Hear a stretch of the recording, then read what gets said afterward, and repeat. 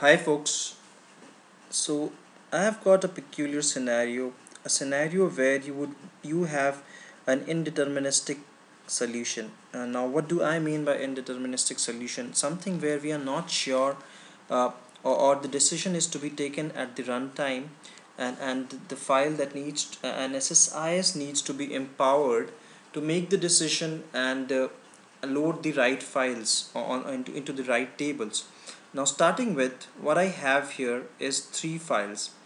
I have the file 1 2 and 3 these are all flat files demo flat files which contains uh, employee uh, related tables data. Now these are simple files and these files needs to be loaded in SQL Server tables which are uh, like uh, this the schema of them uh, is something like this. I have created hypothetical tables load file 1 file 2 and file 3 now this is the directory uh, where the file should be present. So this is dump file uh, dump file. So this is the directory where it needs to be present.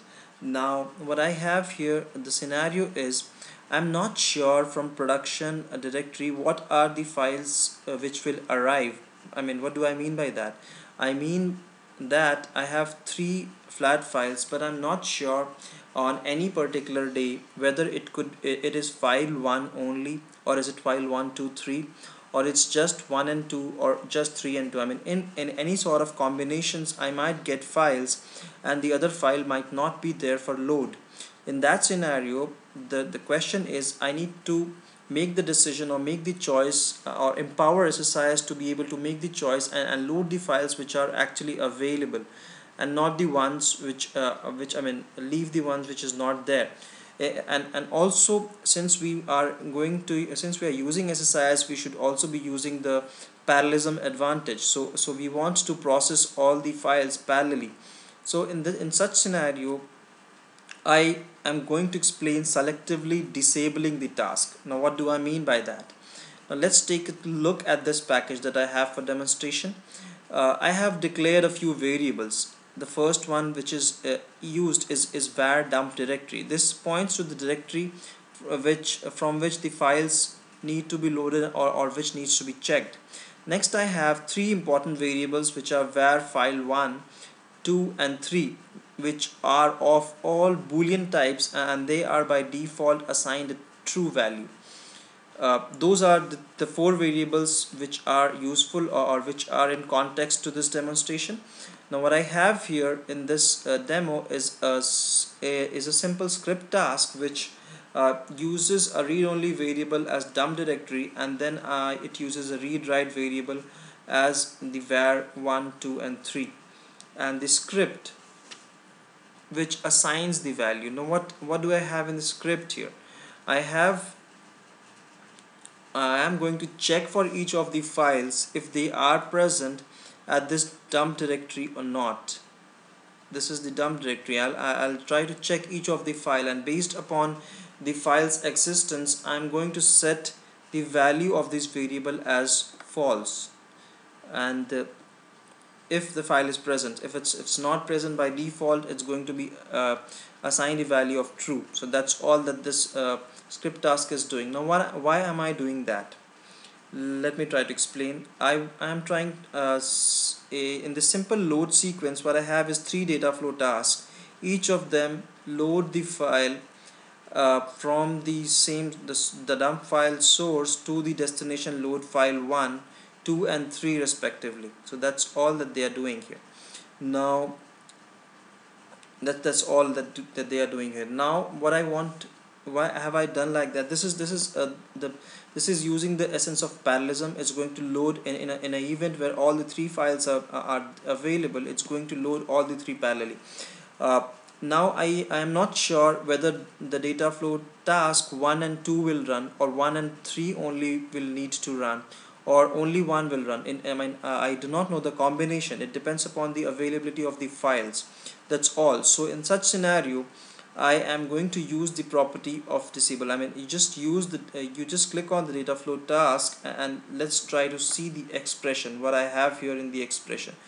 If you look at the expression I'm going to utilize the expression value for disable and, and, and map it to var file 1 so that's uh, that's it. By default the disable value is true which means all the three tasks will remain disabled in, in, in the initial state. Uh, so all the three tasks remain disabled in the initial state and at the time of the execution it's going to be decided whether this uh, data flow task will be enabled or not. Parallelly there is there is one more uh, so that's that's true. So so that's going to be decided at the runtime. So when the file when uh, the SQL server runs this or, or, or, the package is run it's going to be it's, it's going to check if the file is available. If it is available it's going to set the dis disable value or the disable expression to false and which will automate or, or which will uh, enable them which will enable the data flow task and, and hence the uh, the load will work. So let's try to see a simple demonstration. In in the first scenario let me try to uh, I'm deleting all the three. Let me copy all the three. So this is a scenario when all the three are present. So uh, what is uh, this there's a script task then there is a cleanup so this is going to truncate all the three tables that I have before loading. And let's try to run this package.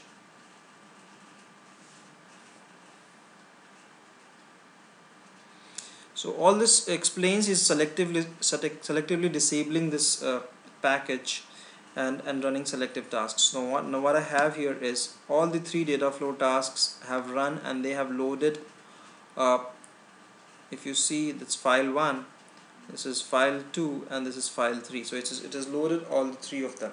Now let's try to use only one of the files.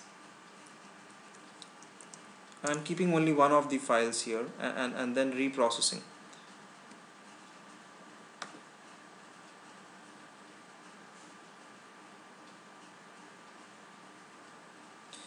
right so uh, now if we, if we check what we find here is there's the, the, the load has occurred only for file 1 the 2 and, and the 3 uh, are not loaded. Still the package has been successful. So what it means is the SSIS package enabled the data flow task 1 while it kept 2 and 3 as, as, as disabled. So in another scenario let's just take two of them. And I'm deleting uh, and I'm keeping 2 and 3 only. So let's run this.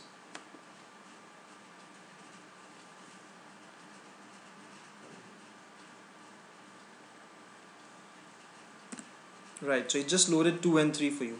So that's a simple demonstration for you guys how you you can override dynamically and, and enable and disable tasks at, at the runtime during uh, the run of your package. So it's uh, it's again uh, empowering your SSIS package to uh, selectively disable a particular task uh, at the runtime. Thank you friends